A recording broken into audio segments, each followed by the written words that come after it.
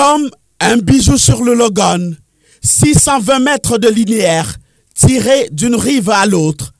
Yagua au Cameroun d'un côté et Bangar au Tchad de l'autre. Bongo est la voie d'entrée des grandes marchandises du, Tchad.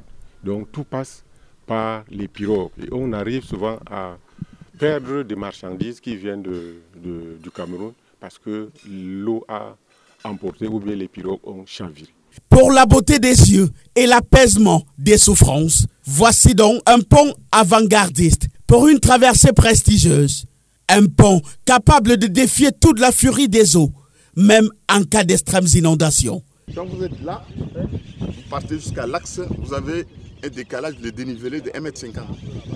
Et quand vous partez de là jusqu'à de l'autre côté, vous avez le dénivelé de 1,50 m. C'est pour évacuer les eaux. Garantie qualité et efficacité.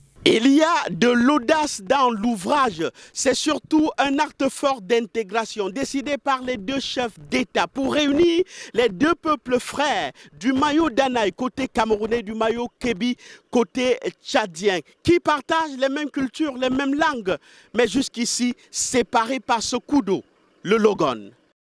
Ici à Yagua, comme là-bas à Bongar, des projets connexes viennent donner de l'allure et booster le développement. Il y a euh, la voirie urbaine qui a suivi, environ 7 km de part et d'autre, pour embellir euh, cette voirie. Il y a des additions d'eau, il y a beaucoup d'autres choses qui sont arrivées. Pour sa réalisation, deux partenaires financiers de poids, la Banque africaine de développement et l'Union européenne. Taux de réalisation déjà à 85%. Livraison prévue en janvier 2025.